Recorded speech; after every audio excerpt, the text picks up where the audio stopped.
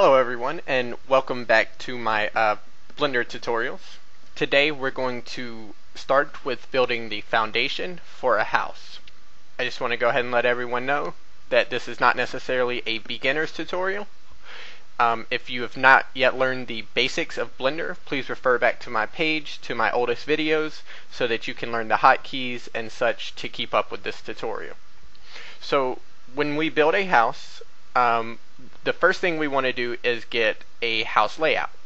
I found a really good site. Okay, there is a link that I will be posting in the video that will bring you to this site so that you can look at the homes. Um, you would then have to choose a home and download the floor plan layout by right clicking and saving image as or whatever. Make sure that you know where you save your image. Also a thing that I want to point out is it might be wise not to get a floor layout that has walls that are not straight, such as this one at the bottom right here.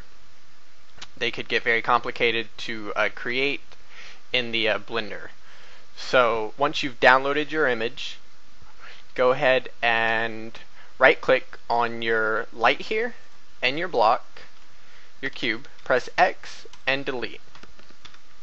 You're going to press 7 to go to top mode press Shift A, select a plane,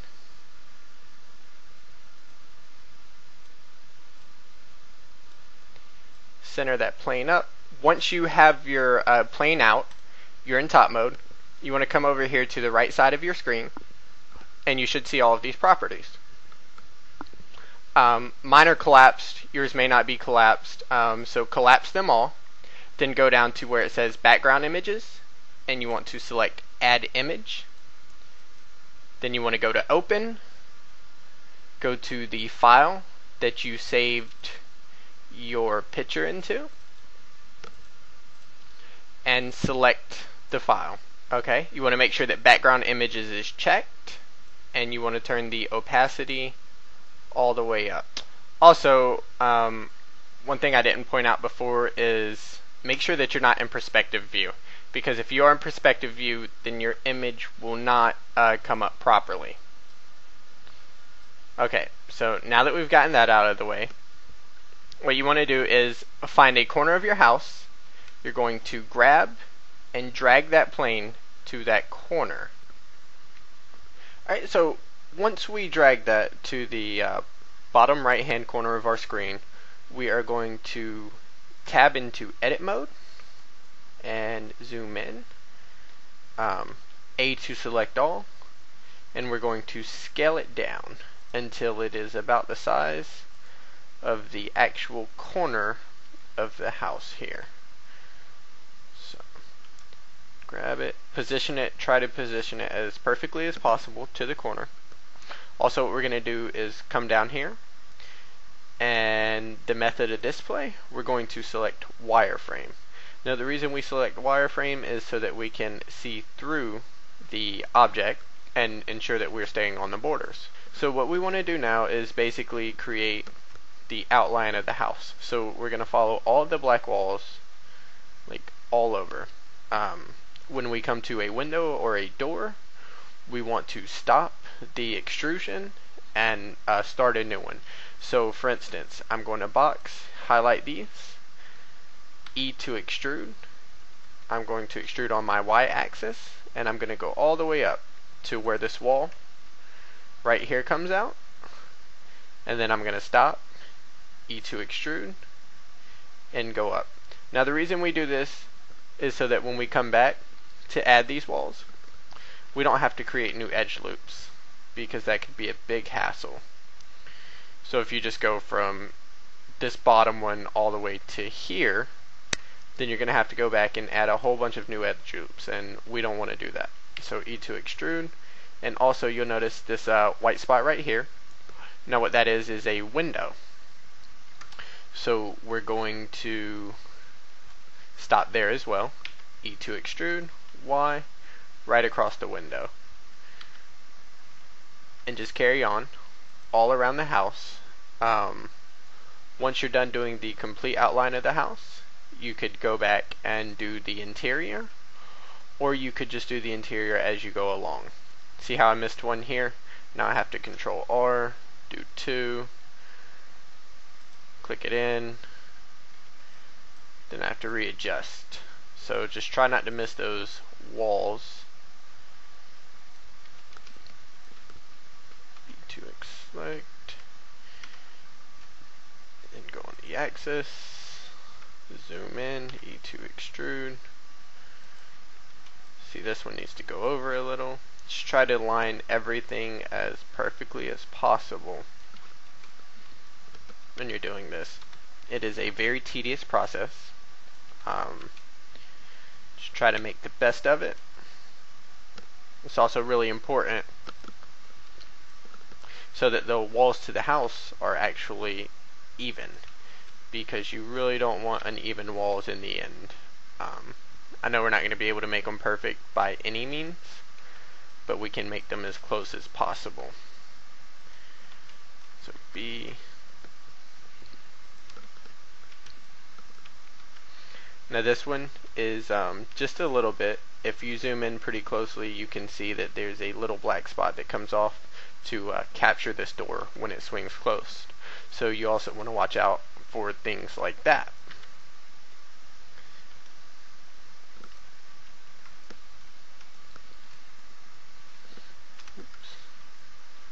Um, I like to create my walls as I go along. It seems a bit more convenient to me.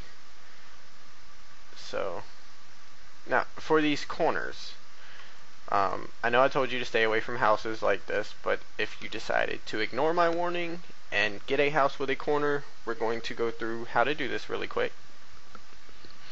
Basically, you want to go out until it begins to hit the uh, corner of the bottom. And then you want to take this and you want to drag it along that uh, x-axis by itself until it reaches the corner.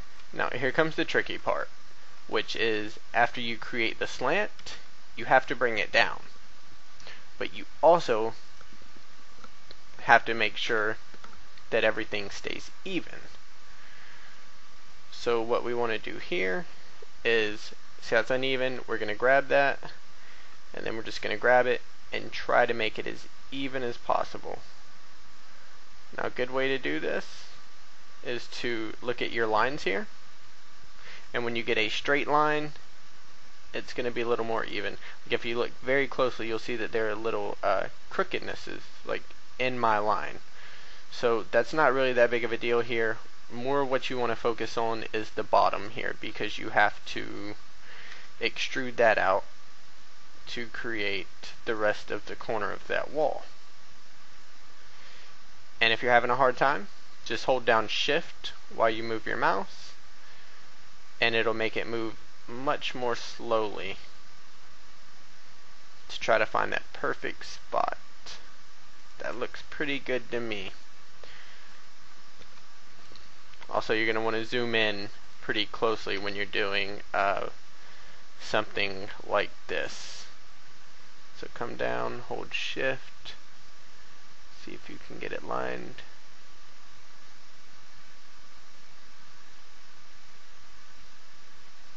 That looks pretty good to me. We're going to zoom out. Alright, so I'm going to go ahead and go the rest of the way around the house. Um, and then come back. So basically guys, just make sure that you skip over the windows because in this tutorial I'm not going to be covering how to go back and fix the windows. So just create the entire outline of the house, make sure that you skip over the windows unless you prefer the window not to be there. Okay, so now that we've finished the uh, layout of our house, what we're going to do is um, line some vertices up. Now, the way that we go about doing this is, it, as you can see in the bottom of my house, um, these may not be, these vertices right here may not be at the same area on the uh, three-dimensional map as these over here are. So what we're going to do is we're going to, uh, first off, I'm going to show you guys how to connect the final portion of your house. don't just extrude and drag it over. Once you reach the last leg or the last section that you have to cut off, just click the uh, start point, these two vertices here, and your end point, these two vertices here, and press F to face. Right, and as you can see, um, yes, they are quite uneven because I have a huge slant here. So what I'm going to do is I'm going to take my very original vertice, and over here in our tools bar, we have a tab that says transform. So what we want to do is go to our transform and look at the y-axis for this one. As you can see, it's 0.81790. So what I want to do is deselect all, press B to box select these right here, and it was 0.8910 I think. So then click on the y-axis, 0.8910. So apparently it's going to make me do them all individually.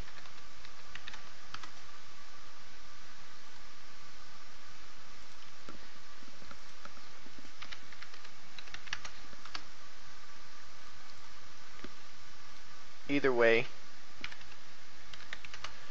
um, you should be able to box select all. I'm not sure what happened here.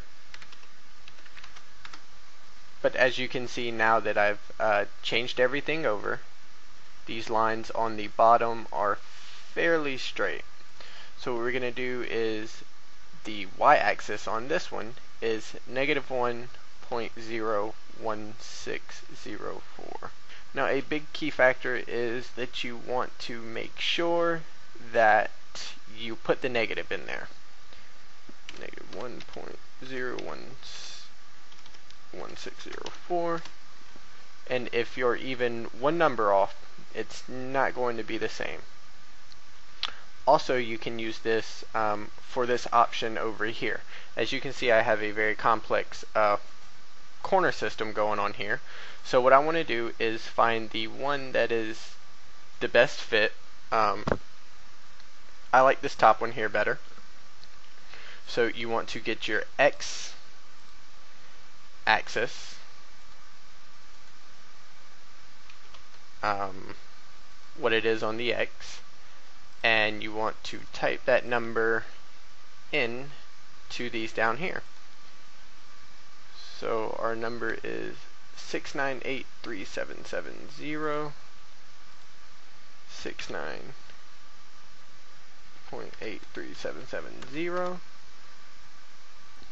Right, there's also an easier way to do this that I want to go over because I just remembered. Um, if we come down to the bottom here where um, our snap tool is, we can go ahead and turn that on. You'll know that it's on because the uh, magnet will turn orange. You want to change your selection to vertex and then go to closest. Our cursor has to be over. So when we press control and our cursor goes over, the um, item, what will happen is it will align it with that specific item. Now, it doesn't seem like it will help us very much right now, but if we grab the item, and let's say we grab these, well, this one, and we grab it, and we press X, then we come down here to the bottom, and hover our cursor over this vertice right here, it's going to automatically align the vertice that we have grabbed on the x-axis of the one that we're trying to place. So we grab that and then we click to let it down. Grab this one, put it on the x-axis, and there you go. Grab this one, x-axis, perfect. Grab x-axis, come down to this one on the bottom, grab x-axis and come down to this one on the very bottom. So now we have a pretty good aligned um, house for the most part. Okay, so we go back to object mode and what we want to do here is go ahead and create the dimensions for our house so that we can properly make it so it doesn't look like dysfunctional. So what we want to do is go over here to our transform tab. And we want to go down to our dimensions. And we want to For our x dimension, we want to look right here where it says 13.4 meters, and then we want to put that 13.4 there. And then for our y, it's going to be 11.4. Now, what that does is so that whenever we um, raise our house off the ground, it's not too slim or like too disgusting looking. It's going to evenly proportion the house. So now we're just going to go into edit mode and as you see based on our house we have um, our windows and doors. So the first thing we're going to do is un um, highlight all by pressing A and then we're going to hold shift and right click on our doors. Now that we have all our doors unselected, we're going to go to front view, we're going to extrude, and it's going to naturally go up on the um, z-axis. So what we're going to do is press plus 1 and enter. So as you can see, we've started a foundation for our home. And what we want to do now is go back to top mode as you're trying to select these windows.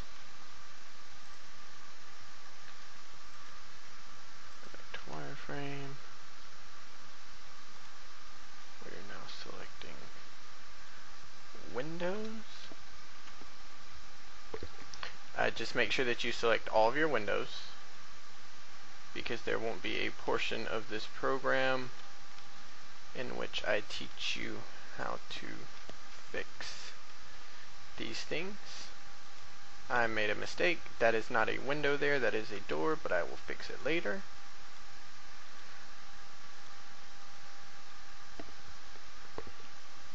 Okay, so now that we have all of our windows selected, we're going to go back to front view extrude and we're going to do 1.4 press enter. So what we want to do from here is go ahead and close off our windows. So how we're going to do that is we're going to go and find our windows and doors and then we're going to click the four vertices on the top of it and face them off.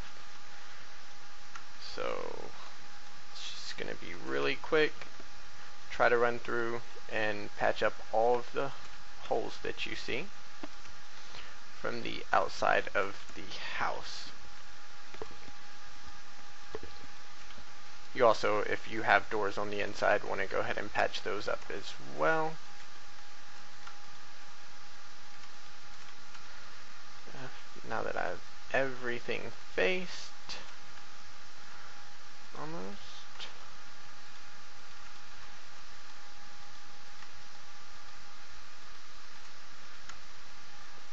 So everything on the outside looks pretty good, but I also want to get the inside as well.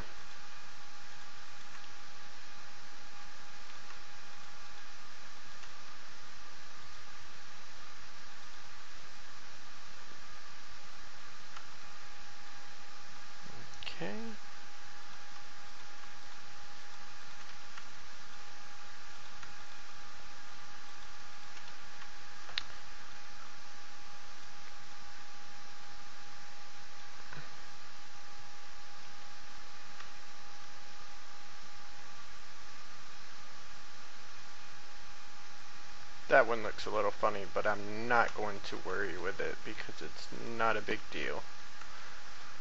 Okay, so now I have basically the um, outline or foundation of our home. So we're going to go ahead and finish this tutorial here and hopefully within the next two weeks, um, depending on how well this does, I will have the other tutorial out.